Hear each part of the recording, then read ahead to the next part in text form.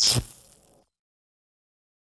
Imagina se fosse possível você convencer uma pessoa em apenas 90 segundos. Fazer com que qualquer pessoa goste de você já nos primeiros 20 segundos e confie em você e queira ter a sua amizade. Isso é o que o livro Como Convencer Pessoas em 90 Segundos ensina. E eu quero compartilhar com você duas dicas que eu aprendi nesse livro que já vai melhorar a qualidade dos seus relacionamentos e vai conquistar a confiança das pessoas. A primeira dica é: abra um sorriso largo e coloque brilho nos olhos quando você ver uma pessoa.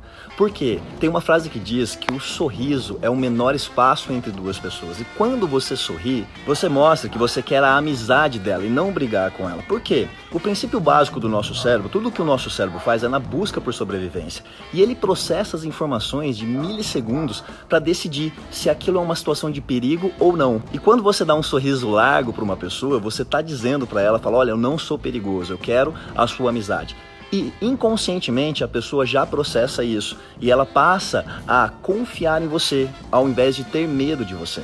Começa a perceber as pessoas que você encontra na rua ou você encontra em determinados locais você vê que as pessoas elas não dão um sorriso. É difícil as pessoas abrirem um sorriso e aí a gente acaba julgando a pessoa já no primeiro contato. Sabe aquela frase que diz que a primeira impressão é a que fica? E é a impressão quando a pessoa passa um semblante sério, ela não dá um sorriso, ela passa uma certa arrogância, ela passa uma, um distanciamento. Então a primeira coisa para conquistar as pessoas é abrir um sorriso largo e mostrar para elas que elas são importantes para você.